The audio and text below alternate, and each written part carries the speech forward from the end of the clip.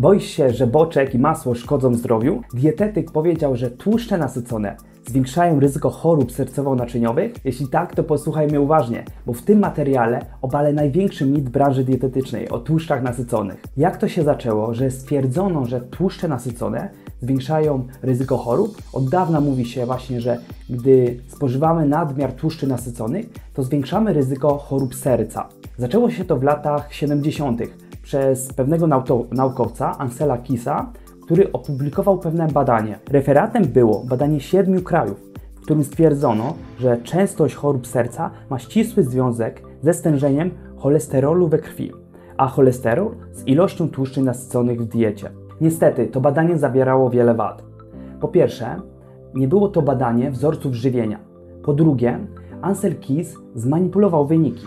Z 20 krajów, w których badał e, wysokość spożycia tłuszczy nasyconych, w porównaniu do mm, ryzyka chorób e, sercowo-naczyniowych wybrał tylko 7 krajów, które potwierdzały jego poglądy, właśnie, że wysoki cholesterol, że duże spożycie tłuszczów nasyconych zwiększa właśnie choroby serca. Już 3 lata później wytknięto wiele błędów interpretacyjnych i metodologicznych.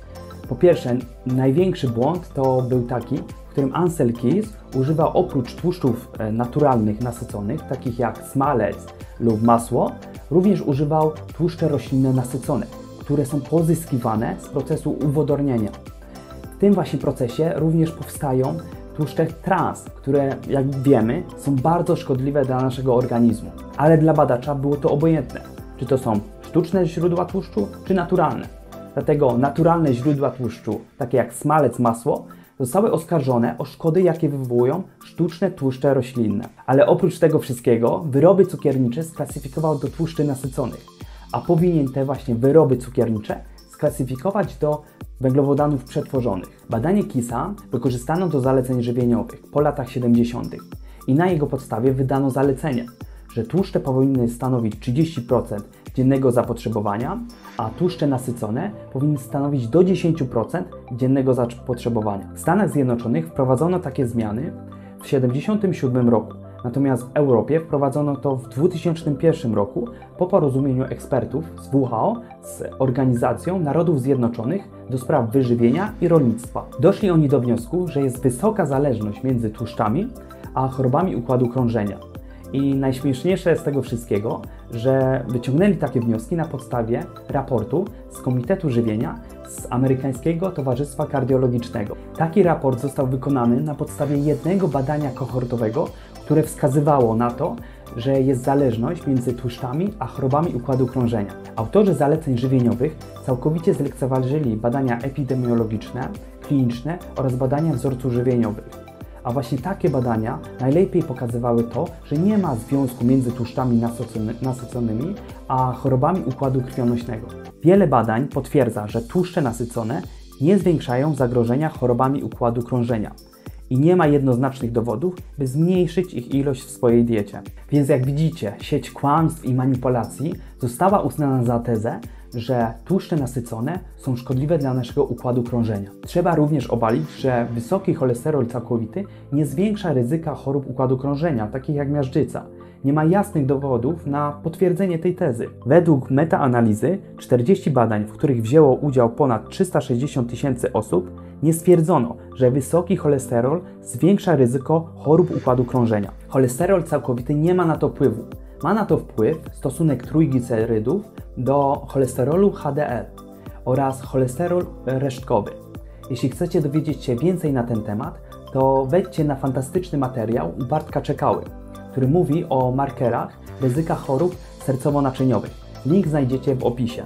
Obecna wiedza na temat żywienia i to, jak wpływa na nasze zdrowie, cały czas się zmienia.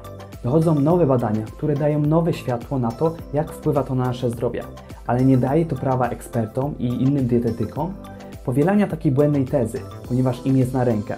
Nie jestem jakimś mm, zapalonym zwolennikiem tłuszczy nasyconych i żywienia się mięsem i wyłącznie tłuszczami. Chociaż w wielu przypadkach mm, dieta lub żywienie bardziej wysokotłuszczowe będzie optymalne dla większości ludzi. I pamiętajcie, by nie wierzyć każdej osobie, która ma certyfikat lub dyplom z, diet z dietetyki. Taka osoba nie jest alfą i omegą. Ona również może się mylić Nawet jeśli podaje jakieś badania, te badania mogą być nieaktualne lub po prostu źle interpretowane. Takie badania również mogą być sponsorowane przez inne organizacje, które na przykład mają mm, na celu to, żeby dyskredytować tłuszcze, a zwłaszcza tłuszcze nasycone. Dlatego musicie mocno to weryfikować. Ostatnio próbowałem porozmawiać z pewnym dietetyk na temat tłuszczy nasyconych, ponieważ na swoim materiale na YouTubie powielała to, że tłuszcze nasycone, a zwłaszcza gdy przekracza się te 10%, szkodzą naszemu układu krwionośnemu i ma badania, które to potwierdzają. Chciałem z nią podyskutować na ten temat i przedstawiłem swoje badania. No niestety szybko zostałem zablokowany.